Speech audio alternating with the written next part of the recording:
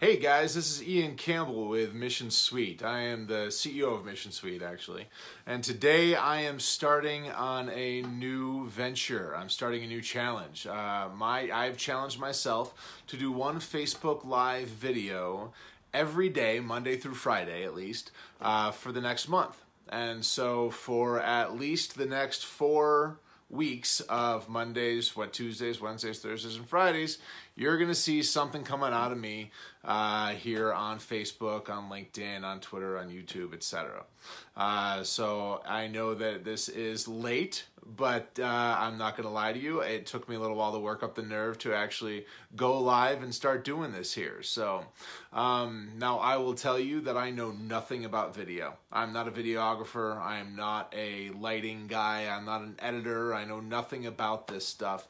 Uh, I spent some time performing once upon a time, but that was a long time ago. So this is going to be a learning experience for me, and I hope that you'll uh, bear with me through this. I'm willing to bet that the first few of these are probably going to suck, but I'm going to say that that's okay, and I'm going to rock and roll with it anyway. So, um, anyway, I want to kind of kick things off with uh, something that I recently talked about on our blog, um, probably two three weeks ago now, I think it was, um, and that's uh, the that's kind of the the topic of CRM price CRM sales marketing software pricing uh, pricing models.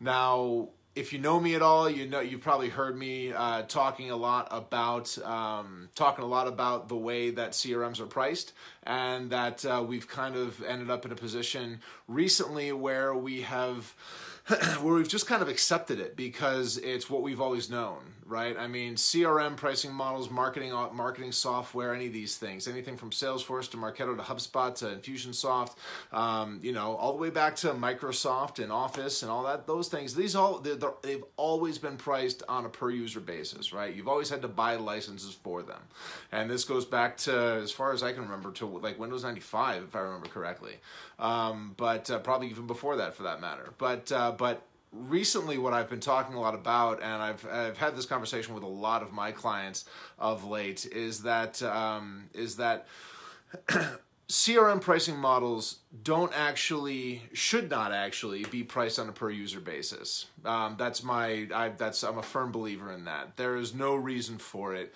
uh, that actually benefits the business owner, the person who's buying the software, uh, to be to be priced out on a per user model. Um, obviously, I can't fault these vendors, uh, these folks, for having uh, set up the pricing model with a way that works for them. That that's that's their right, and they've been very successful for it.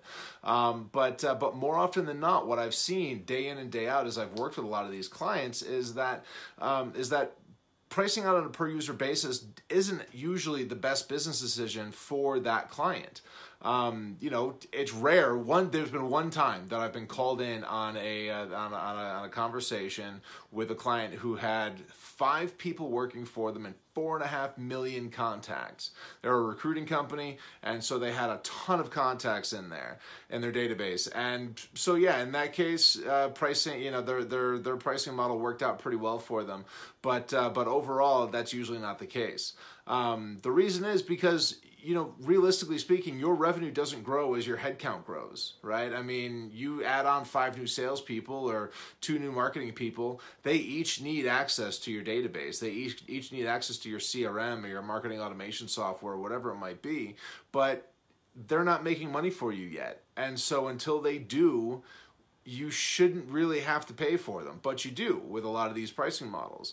And you know, I mean that, and of course, you know, I can pretty easily segue into the the the the, the reason that we've priced our system out um, as a contact database size model. And if you take a look at our pricing page uh, on our website, you'll see all of this. We will never charge on a per user basis, and the reason for that is that is that most of our clients, I'm going to say the vast majority of our clients are not going to grow in revenue automatically because they hired new people, right? That's just not the way that it works. Um, you hire a salesperson, that salesperson may or may not be successful. That salesperson may or may not even use their database, right? And if they're not using it, you still have to pay for them, but why? And so with a with a with a contact database size pricing model, it ends up being a lot more beneficial for you because you don't actually have to start paying more until um, until you are until you have to, to until they actually start performing until they start uh, until they start putting more uh, contacts into the database until they start making more so they actually start making money for you.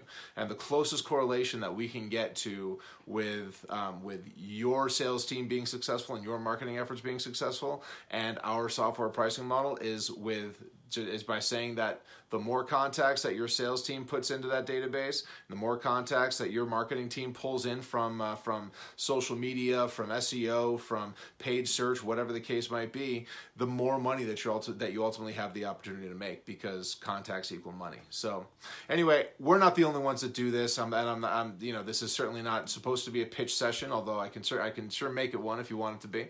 But uh, we're not the only ones that are doing this. We're not. Uh, there are other systems that are out that are uh, there are other systems out there that are pricing on a contact basis and not by the not by the user count.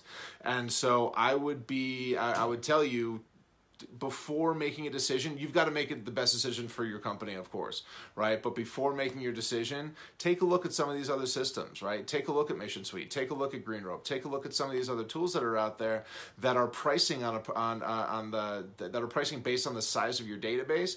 Because ultimately speaking, you're probably going to end up saving a lot of money and still getting the same functionality. So, anyway, this is day one day one of what 20 i think for uh, of, of these live videos. So uh, i hope it was uh, I, I, hope you liked it. And uh, and either way i will uh, i will talk i will see you soon. And i will i'll be back on this